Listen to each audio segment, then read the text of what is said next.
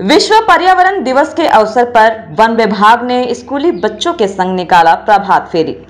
One पर्यावरण एवं जलवायु परिवर्तन विभाग, झारखंड चतरा एवं देवी पब्लिक स्कूल व नजरत विद्यालय चतरा के संयुक्त तत्वाधान में विश्व पर्यावरण दिवस बड़े ही उत्साह के साथ मनाया गया। पर्यावरण के संरक्षण के लिए एवं वैश्विक तापमान में हो रही वृद्धि के कारण आज सारा जनजीवन अस्त व्यस्त हो गया है। आज गर्मी इतनी बढ़ गई है कि देश के कई हिस्सों के तापमान लगभग 50 डिग्री सेल्सियस से ऊपर हो गई है, जिसके कारण हमें बहुत सी परेशानियों का सामना करना पड़ रहा है। अगर तापमान इसी तरह बढ़ता रहा तो हमें मुश्किलों का सामना करना पड़ सकता है। लोगों में पेड़ पौधों के प्रति जागरूकता बढ़ाने के लिए वन विभाग के द्वारा कई कार्यक्रम चलाए गए। इसी कड़ी में 3 जून को डीएवी पब्लिक स्कूल चतरा में निबंध प्रतियोगिता का आयोजन किया गया, जिसका शीर्षक था जैव विविधता 4 जून को पेंटिंग प्रतियोगिता का आयोजन किया गया, जिसका थीम था, आवर लैंड, आवर फ्यूचर, और विश्व पर्यावरण दिवस के अवसर पर 5 जून को जतराही बाग से फॉरेस्ट ऑफ़िस तक प्रभात फेरी का आयोजन किया गया, जिसमें लोगों से प्लास्टिक का उपयोग न करने, धरती का श्रृंगार पेड़ पौधे को नुकसान न पहुँचाने तथा पर्यावरण को संरक्षित रखने के लिए जनता से आह्वान किया गया। वन विभाग के आला अधिकारियों के द्वारा बच्चों को जलवायु परिवर्तन के विषय में विस्तार से समझाया तथा अपने ऊपर मंडरा रहे संकट से निपटने के लिए विभिन्न सुझाव प्रस्तुत किया। उन्होंने बच्चों से शीट बॉल बनाकर उपयुक्त समय में जंगलों में फेंकने का सुझाव दिया। विद्यालय के प्राचार्य सैयद एजाज अहमद ने संबोधित करते हुए कहा कि आज जंगल से लकड़ियाँ काटी जा रही है।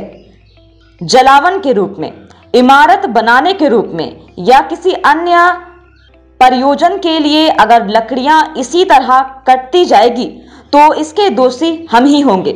आज इनके संरक्षण की आवश्यकता है।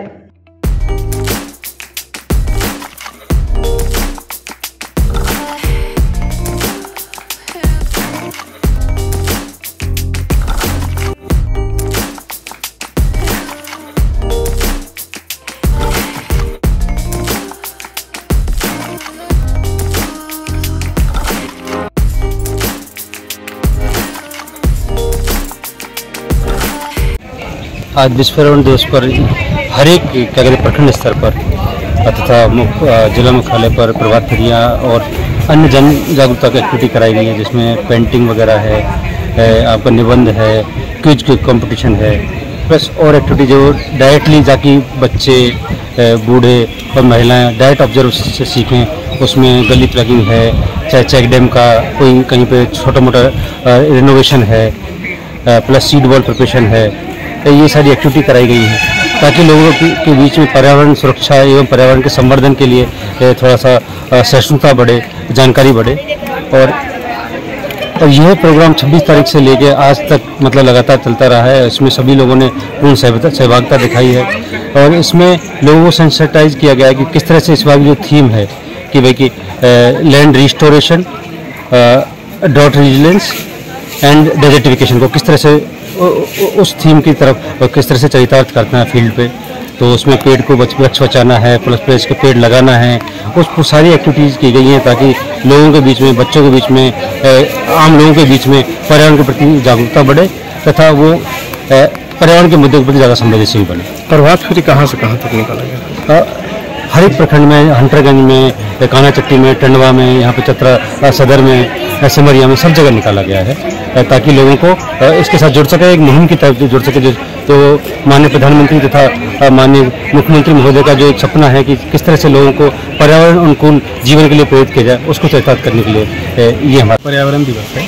तो इसी उपलक्ष्य में जो है यहाँ डी पब्लिक स्कूल के छात्र हैं, उनके साथ उनके जो शिक्षक जो हैं, प्राचार्य उनको साथ में लेते हुए फॉरेस्ट डिपार्टमेंट की तरफ़ से, जिसमें चक्रा दक्षिणी और उत्तरी दोनों के जो स्टाफ हैं, जो एफर्ट्स हैं, उनकी सहायता से ये प्रभात फेरी निकाला गया था। और ये विश्व पर्यावरण दिवस का जो कार्यक्रम है, वो 26 मई से ही जो है, यहाँ पर चल रहा है। प्रतिदिन जो है, कुछ न कुछ कार्यक्रम होता रहा है। जंगल में लोगों को शपथ दिलवाया गया, पर्यावरण पर्यावरण बचाने के लिए वृक्ष रक्षाबंधन करवाए गए हैं।